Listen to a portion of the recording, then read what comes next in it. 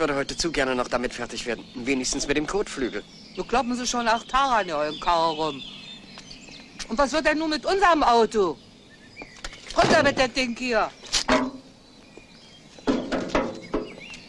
Sie sind zu gutmütig, Doktor. Das wird ausgenutzt. Frau Agnes, was man verschuldet hat, das muss man auch wieder in Ordnung bringen. Und das hier war meine Schuld, nur meine.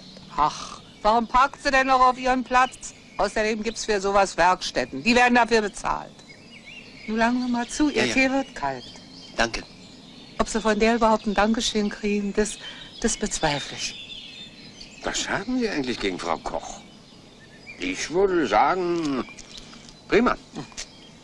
Fabelhaft. Eine Frau, die so einen Tisch im Mann mit dem Sepp davonläuft, an der kann doch ja nicht dran sein. Und falsche Haare hat sie auch.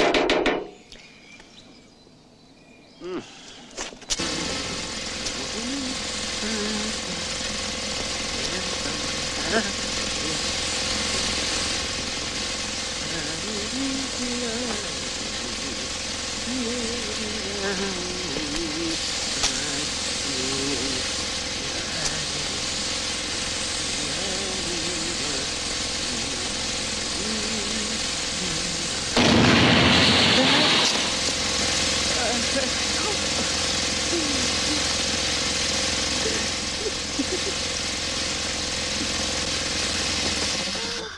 Oh, weia.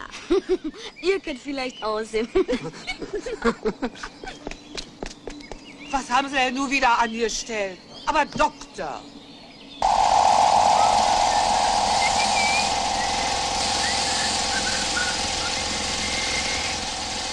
Da sehen Sie Ihr Auto, das ist schon wieder fertig. Die Rosen, das verwildert hier alles inzwischen. Frau Obermann, was ist der Doktor eigentlich für ein Mensch? Na, das müssten ja inzwischen gemerkt haben. Zu gutmütig ist er und das wird ausgenutzt. Dabei ist das ein Genie. Sie, der kann alles. Aber mit drei Problemen wird er nicht fertig. Mit dem Sport, mit der Liebe und mit sich selber.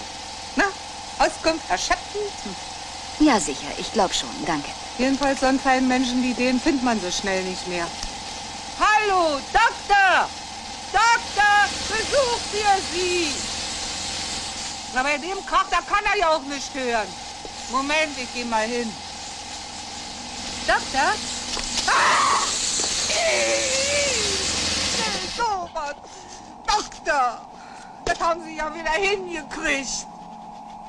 Also wissen Sie, nee. Schweinerei. Wir sind doch hier keine Reparaturwerkstatt. Was sind wir denn überhaupt hier? Und alles wegen Sonne.